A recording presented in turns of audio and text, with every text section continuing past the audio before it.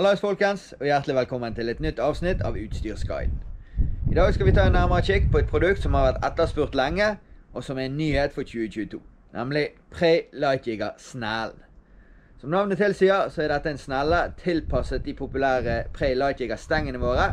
Her finnes det jo mange varianter i haspel, og den her i størrelse 4000 passer helt perfekt til alle sammen.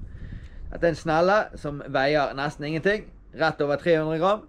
Han har en dyp og god spole med kapasitet til ca. 160 meter med 0,23 breid, som òg er den anbefalte tjukkelsen en bruker under det meste fisket med lightjigger.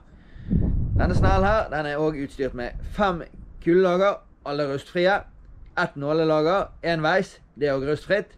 Det er en veldig veldig god snelle til en veldig fornuftig pris. På samme måte som Prey Lightjigger-stengene er òg Lightjigger-snellene svarte med gulldetaljer Dermed blir det hele estetisk pent sammen, i tillegg til å funke veldig bra i praktisk bruk. I hvert fall er dette teorien, men for sikkerhets skyld tar vi oss en tur på fjorden for å sjekke om teori og praksis stemmer overens.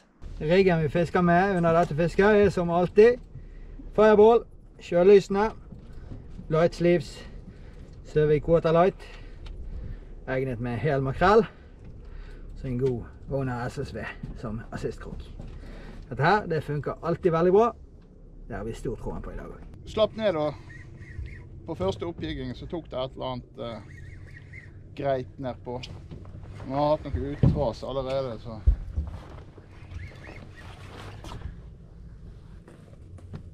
Det er bra test ut av av nye sneller. Han har ikke tenkt å gi seg ennå.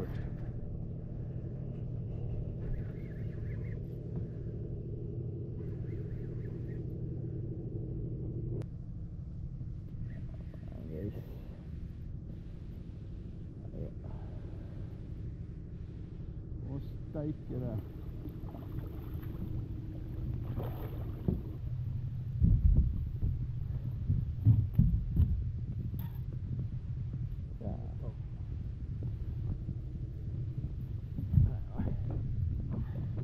Rimelig fin førstefisk. Nå er det her.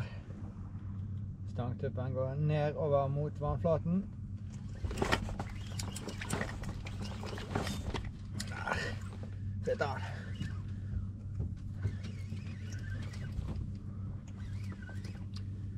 Se. Ser ut som OK fisk.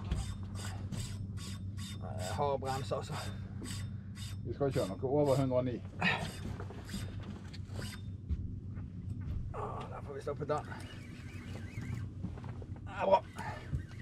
En god fisk. Vi skal jo nå med de nye pre lightjegersnellene. Selvfølgelig i kombinasjon med pre lightjegerstenger. Det er nok en eh, fin fisk.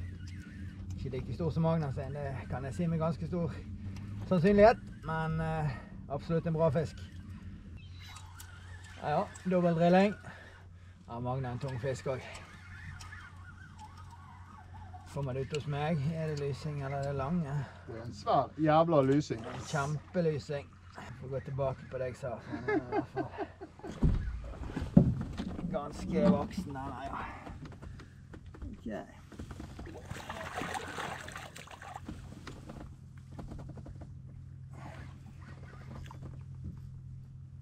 Bra, det. Kjempefisk. Ja, bra. Der kom den.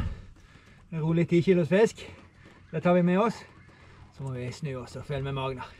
Den han har på, den er antagelig enda større.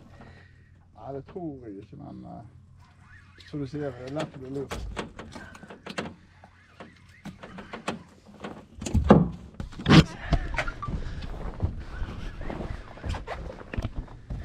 Hva sier du, båtsmann?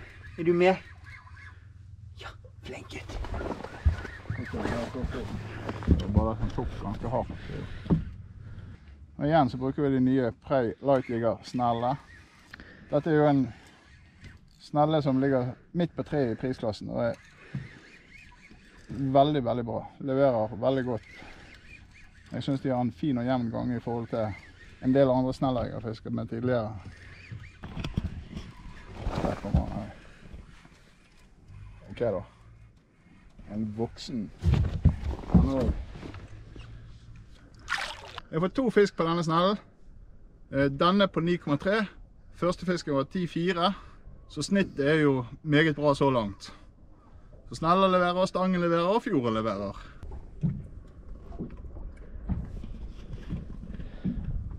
Det var to kjappe timer, det.